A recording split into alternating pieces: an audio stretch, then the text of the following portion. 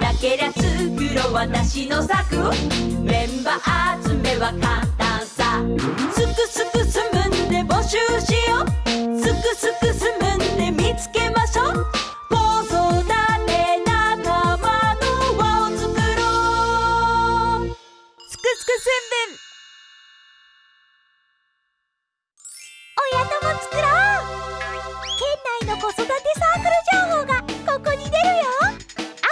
してみてね。テレビで仲間を募集したいサークルさんはこちら。インターネットから応募してね。それでは番組スタート。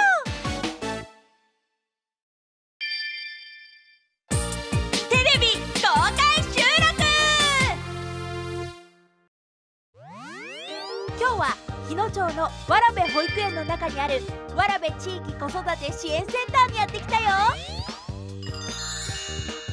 出来たてほやほやあったかい木の建物。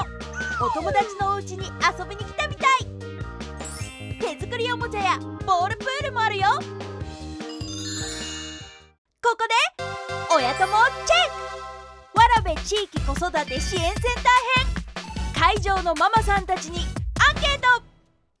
今勝手に1万円使えるとしたら何に使う？こっそり友達と美味しいものを食べに子供とお揃いの服を買う。パーマを当てたい。大きな声では自慢できない。私の特技は？肘と肘が背中側でくっつく。変顔カラオケでサタデーナイトフィーバーの踊りを恥ずかしげもなくできる。今何デビューしたい？松江区デビュー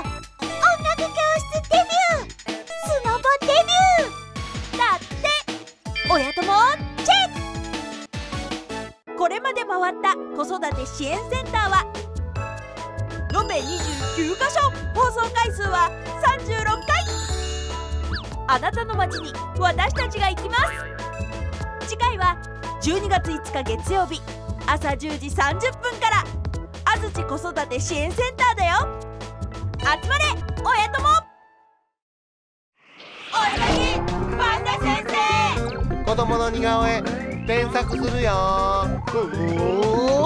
パンダポー。私のパンダティーチャーあなたのパンダティーチャー Rock and Fly Rock and Fly おこの絵は可愛らしいに描いてもだな。おむつのパッケージに登場する。可愛らしいモデルによう似とる絵やな。お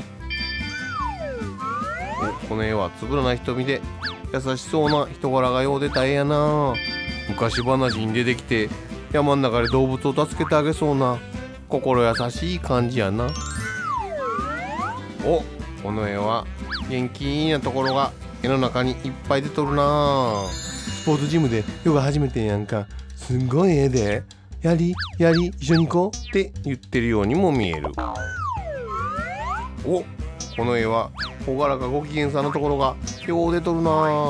パパの育児参加を呼びかけるパンフレットに出てくるような漫画で育児ってママだけのものじゃないって分かりました。って言ってる物分かりのいいお父さんに見える。おこの絵は髪型と眉毛の感じがよう似とるね。でも絵の中の彼は図書館に置いてあるアニワの本が少なすぎます。もっと増やしてください。って先生に直談判しているようにも見える。またね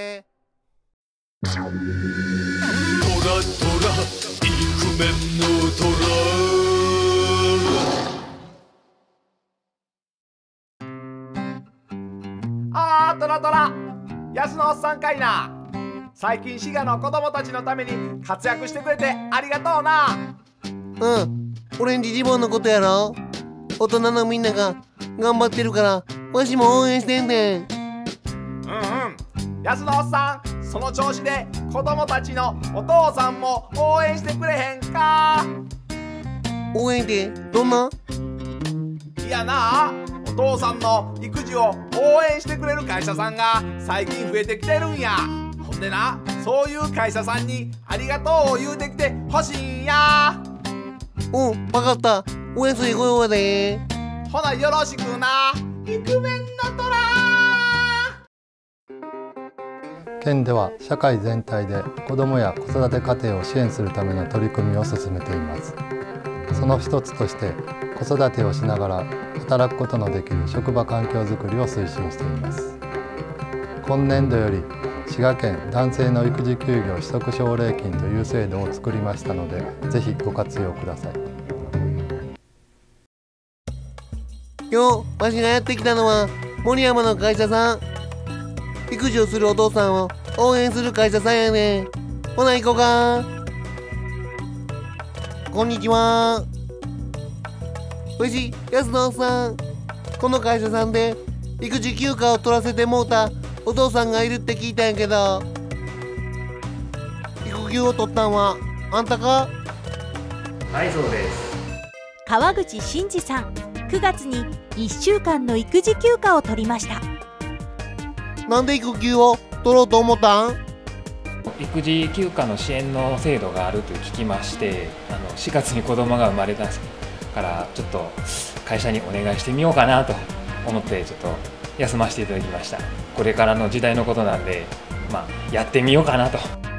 育休取ってみてどうやった？やっぱり子供と接する機会って男の人だと普通は土日とかそういう時しかないので、まあ、まとめて休めたので母親に任せてるところがあったのができたからちょっと嬉しかったですね。よかったな。みんなも応援してあげたんか？ええ仲間やな。ほんであんたが社長さんか？ええ社長さんやな。イクメンの虎さんに代わってわしがお礼を言います。パパさんに育休を取らせてくれてほんまありがとうな。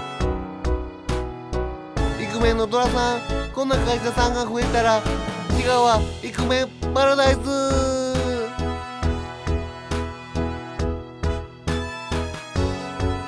滋賀県では今年度から男性の育児休業取得奨励金を制度化しました。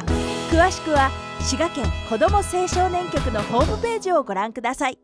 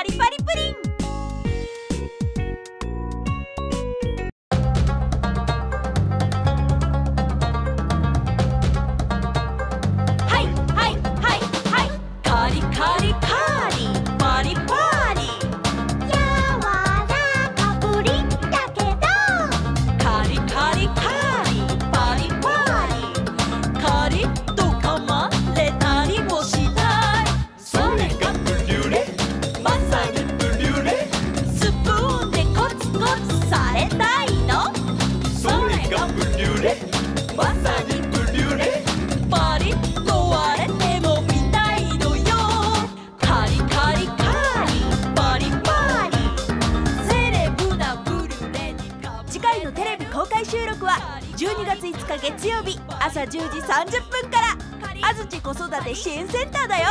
親とも集まれ。